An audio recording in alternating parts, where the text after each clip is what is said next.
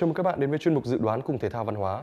Sau đây là trận đấu giữa Everton và Manchester United trong khuôn khổ Cúp Liên đoàn Anh. Vòng tứ kết Cúp Liên đoàn Anh, Everton sẽ phải tiếp đón một Manchester United đang có phong độ cực cao tại Premier League. Dù cũng đang chơi tốt nhưng đội chủ nhà sẽ không dễ để giành vé vào bán kết, bởi đội khách cũng đang rất khát khao danh hiệu sau mùa tay trắng. Giai đoạn gần đây, Everton với hàng công thi đấu tốt trở lại, đang hồi sinh đầy mạnh mẽ.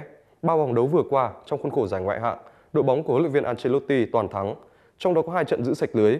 Đáng chú ý, ba đối thủ của Everton đều là những đội bóng tên tuổi gồm Chelsea, Leicester và Arsenal. Bên kia sân, Manchester United cũng đang có dấu hiệu hồi sinh. Đội bóng của huấn luyện viên Ole Gunnar Solskjaer như muốn người hâm mộ quên đi việc bị loại khỏi Champions League của mình.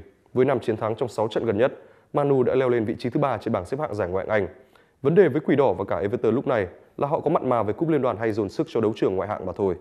Cơn bão chấn thương đang càn quét lực lượng của đội chủ nhà vào thời điểm hiện tại. Các lựa chọn cho đội hình xuất phát của Everton đang bị hạn chế khi huấn luyện viên Carlo Ancelotti sẽ không có sự phục vụ của Lucas Digne, Alan và Fabian Dev vì các chấn thương khác nhau. Khả năng ra sân của Andre Gomez cũng bỏ ngỏ sau khi tiền vệ này tái phát chấn thương gần kheo. Dominic Calvert-Lewin đang là chân sút số 1 của Everton và nhiều khả năng vẫn sẽ có mặt. Chất lượng các cầu thủ dự bị của Man United với những Edison Cavani, Van der Beek hay Pogba rõ ràng cao hơn hẳn so với Everton. Huấn luyện viên Solskjaer sẽ tạo điều kiện cho các nhân tố trên băng ghế dự bị thi đấu. Ở vị trí gác đền, cơ hội thi đấu tại đấu trường Carabao Cup nhiều khả năng sẽ được trao cho thủ thành Dean Henderson. Trong 5 lần đối đầu gần nhất giữa hai đội, Manchester United đang nhỉnh hơn đối thủ khi có được hai chiến thắng, nhận về hai trận hòa và một thất bại. Tuy nhiên, phong độ của đội chủ nhà trong thời gian vừa qua đang được cải thiện đáng kể. Trong 5 trận đấu gần nhất trên mọi đấu trường, Everton thắng 3, hòa 1 và thua 1. Đặc biệt là 3 chiến thắng liên tiếp tới từ 3 trận gần nhất. Man United cũng thắng 3, hòa 1 và thua 1 trong 5 trận gần nhất.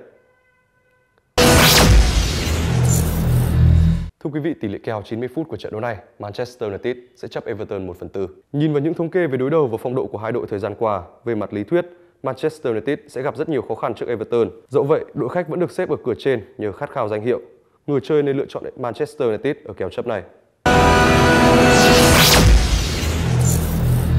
Thưa quý vị, tỷ lệ tài xỉu của trận đấu này là 2-3 phần 4. Các trận đấu của Manchester United th thời gian gần đây đều có rất nhiều bàn thắng với 18 bàn trong 5 trận gần nhất. Cộng với hàng thủ của Everton không được đánh giá cao thì khả năng trận đấu này sẽ có nhiều bàn được ghi. Chính vì vậy với kèo tổng số bàn thắng là 2-3 phần 4 thì người chơi nên lựa chọn kèo tài sẽ có nhiều cơ hội thắng cuộc hơn. Dự đoán của thể thao văn hóa, Manchester United sẽ giành chiến thắng với tỷ số 2-1. Cảm ơn sự quan tâm theo dõi của quý vị và các bạn. Xin chào tạm biệt và hẹn gặp lại.